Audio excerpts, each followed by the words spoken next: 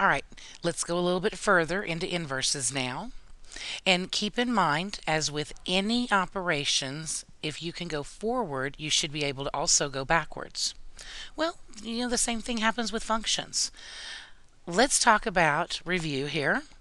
How do we know something is a function? Do you remember there was a test that we used that said that um, there was a line we could draw, and if it hit it in one spot only, then we knew it was a function.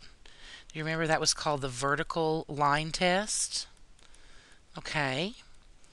Well, what do you think backwards of that or the opposite of that would be? The horizontal line test. Absolutely. Well, we have a theorem that says if every horizontal line intersects the graph of a function in at most one point, then f is called a one-to-one -one function.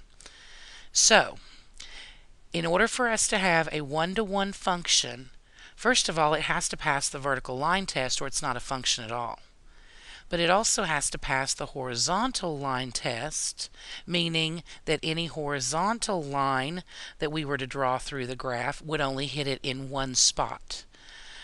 If that is true, then we call the function one to one. And that's really important because as we're going to see in a little while, only one to one functions are capable of having inverses. Now, we have this sort of definition here that says a function is one-to-one -one if any two different inputs in the domain correspond to two different outputs in the range. Basically, this is, well, this is the definition of what it means to be one-to-one. -one. But we can think of it a little bit easier terms also. Basically, this says that every x value can only have one y value. And then likewise, every y value can only have one x value. This must be a perfectly monogamous type relationship between x's and y's. They can only have one pairing and that's all. Let's look at some examples here. Here we have three different functions. Each one of these passes the vertical line test, so we know that they are functions but we're trying to see if they are one-to-one -one functions. So we're also going to be using the horizontal line test. I could pass a horizontal line anywhere I wanted to on this first one and it's only going to hit in one spot each time.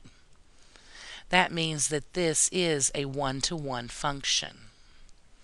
Okay, what about the next one? It passed the vertical line test, so it is a function, but if I were to pass a, a horizontal line through here, I'm actually going to hit it in two spots.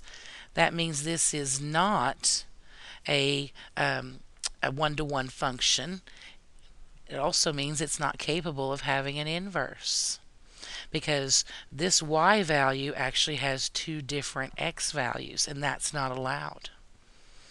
Okay, this third one here, again, it passed the vertical line test, so we know it is a function. But if I pass a horizontal line through here, it actually hits it in every single point. So again, this is not a one-to-one -one function.